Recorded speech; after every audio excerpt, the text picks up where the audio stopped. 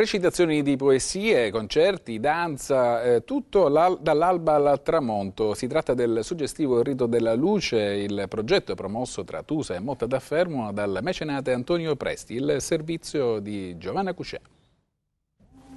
Dall'alba al tramonto, una giornata trascorsa a Motta d'Affermo, sulla collina che domina le isole Eolie, tra poesie e canti per rinnovare il rito della luce nella piramide 38 parallelo. Un momento di forte spiritualità voluto anche quest'anno per la quarta edizione dal mecenate Antonio Presti che per l'evento nei giorni del solstizio d'estate ha riunito oltre 100 artisti. Un dono alla Sicilia lo definisce Presti che lo ha organizzato attraverso la sua fondazione. In una società che ha smarrito ogni senso di dignità e bellezza, ha sottolineato Voglio restituire un momento di ritualità che sia capace di parlare al cuore della gente. E così è stato per i partecipanti, tutti rigorosamente vestiti di bianco. A Motta da Fermo sono arrivate oltre 5.000 persone, secondo gli organizzatori. Hanno letto poesie e alternato danze e meditazioni yoga. Molto suggestivo il momento all'interno della piramide. La giornata si è conclusa in tarda serata con la luna tinta di rosa al perigeo, cioè nel punto più vicino alla Terra.